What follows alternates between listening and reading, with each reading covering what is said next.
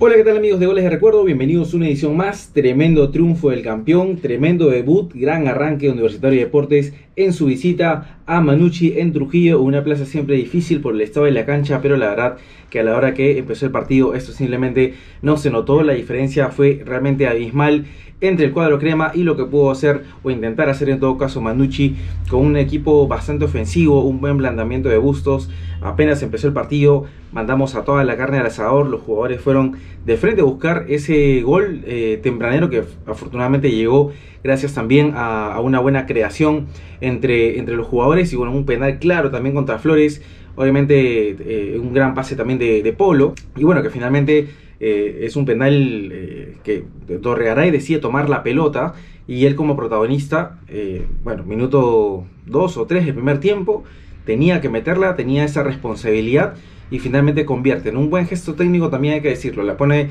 eh, pegado un palo fuerte abajo, nada que hacer para Heredia y eh, convierte el primer tanto y con eso creo que la U empezó también eh, a tener un poco más de confianza porque se sabía superior, estamos haciendo realmente bien las cosas pero Manucci, como todo local, quería darle vuelta a la situación. De hecho, una muy buena intervención de Britos ¿ah? en una jugada que prácticamente estaba ganada el empate después seguían avanzando claramente, pero la U eh, siguió en su línea, siguió en su juego, siguió avanzando en lo que quería proponer y a partir de acá también llega un segundo gol, una gran asistencia de Concha para dar el pase exacto y también obviamente Flores que sabe picar, se sabe adelantado, se sabe que estaba en la línea pasando exactamente para, para la jugada evitando el offside de esta forma, recibe la pelota dándole botes ¿ah? y el que menos de pronto decide llevarse al arquero o mandarla por abajo, no, él con un gesto técnico realmente notable la pone por encima y realmente es un golazo sobre todo porque el defensa Manucci quiere un poco sacar la pelota, pero esto simplemente no fue posible porque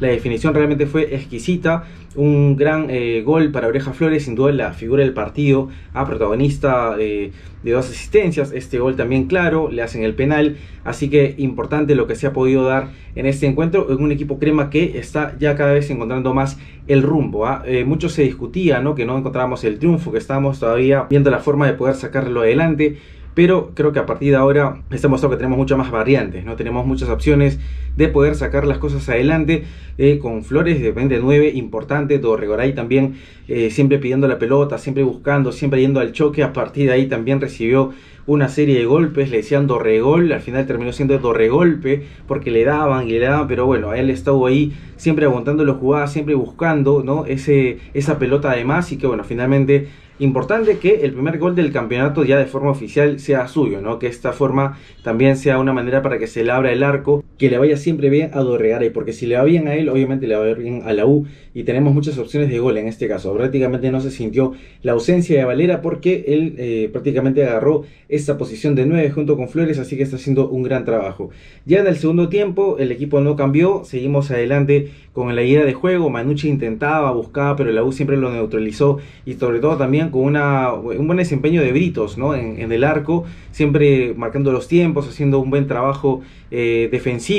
Lo que sí, nuestra defensa de pronto en algunas situaciones le pasó un poco mal, eh, en algunos casos Riveros, ¿no? pero ya son cosas que se van a, corregir sin duda en la semana. Igual era una cancha complicada, como ya lo mencionamos en Trujillo, por el estado de la misma, pero creo que a, partir de eso también hemos podido sacarlo adelante. En un partido siempre difícil, siempre complicado, pero que hemos podido ganarlo y sobre todo de forma contundente. 4-0 somos los punteros junto con Cristal que han ganado también eh, el día de ayer, así que importante seguir por ese lado.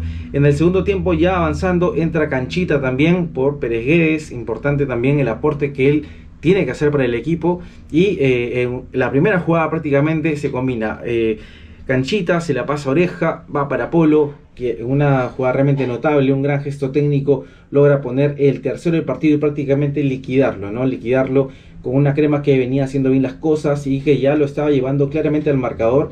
Era para un partido para ganar los 6 a 0 tranquilamente, ¿no? Por la gran situación que generamos. Eh, y bueno, Manucci no tenía opción de poder concretar. Así que importante lo que, lo que se pudo dar. Y después al final, con una pelota de ataque, con el gran ingreso también de Portocarrero, ah, que prácticamente le sumó mucho al equipo en ofensiva, siempre pasando para adelante, siempre buscando esa pelota adicional para poder eh, generar una situación de peligro, llega esta jugada donde Heredia comete el error de soltar la pelota y Oreja simplemente no se complica, hace la simple, ¡pah! mete el pase de una y Calcaterra tiene que empujarle, el gol prácticamente más fácil de su vida, de su carrera, la empuja con este parche de campeón, ah, pa, ahí está en el arco, este triunfo para toda la gente que ha estado en Trujillo, que ha estado alentando y sobre todo que ha estado haciendo bien las cosas con el equipo más campeón del Perú. Ahora lo que se viene es recibir al Grau de Piura, tenemos este partido que va a ser el próximo sábado a las 8 de la noche. Las entradas ya están a la venta. De hecho, la tribuna de norte ya está totalmente agotada. Tenemos un sorteo para una entrada doble de la tribuna oriente. Así que, nada, si quieres participar, vea el video anterior de nuestro canal Goles de Recuerdo y dejar un comentario para que puedas participar en ese sorteo. Lo vamos a hacer seguramente ya el lunes porque las entradas prácticamente están volando. La crema está realmente a tope con un nivel importante y creo que lo que podemos hacer nosotros también, obviamente como hinchas, es alentar de forma incondicional, ¿no? No marearnos, ¿ah? porque es un triunfo importante, sí, es un resultado también abultado, pero también eh, tenemos que ir partido a partido. El clausura se ganó así, no mirando tanto la tabla, mirando el partido, asumiéndolo como que el que venía era el más importante de eh, Universitario y ahora el más importante es contra Grau de local en el Monumental.